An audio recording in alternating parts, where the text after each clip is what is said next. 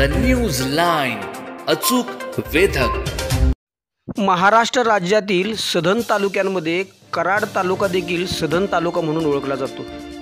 चांगले पर्जन्यमान सिंचनाच्या मुबलक सोयी कृष्णा सह्याद्रीसारखे सहकारी साखर कारखाने जयवंत डायमंडसारखे खाजगी साखर उद्योग आणि मोठ्या प्रमाणावर ऊस शेती आपल्याला इथं पाहायला मिळते. मात्र कारवे रेटरे वडगाव कोपेर कोपर्डे यांसारख्या काही गावात भात शेती करणाऱ्या शेतकऱ्यांचे प्रमाण देखील मोठे आहे. जेवणाच्या ताटात भाताचे महत्त्व आहे आणि बदललेल्या खाद्यसंस्कृतीचा विचार व प्रयोगशील शेतीची कास धरलेल्या कष्टाळू शेतकऱ्यांनी अन्य पिके घेण्याकडे देखील आपला मोर्चा वळवलेला आहे.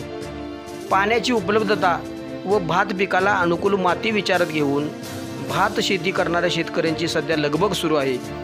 काही ठिकाणी भात लागण झाली आहे तर काही ठिकाणी भात लागण सुरू आहे.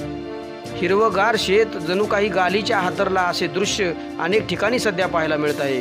तर काही ठिकाणी भात लागणीत व्यस्त असणारे शेतकरी आणि शेतमजूर पाहायला मिळत आहेत. आर चोवीस रेट्रा बासमती दोडका या वाहनांपेक्षा इंद्रायणी इंद्रायणी वाहनाला अग्रक्रमाने पसंती दिलेली दिसत असून वाऱ्यावरती डोलणारी भाताची पाती तर मधूनच येणाऱ्या पावसांच्या सरी किंवा मधूनच कोसळणाऱ्या पावसांच्या धारा पक्ष्यांचा मुक्त वावर व इंद्रायणी वाणाचा सुगंध सर्वांचे चित्त वेधून घेत आहे.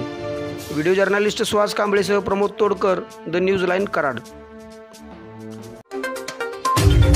The News Line अचूक वेधक.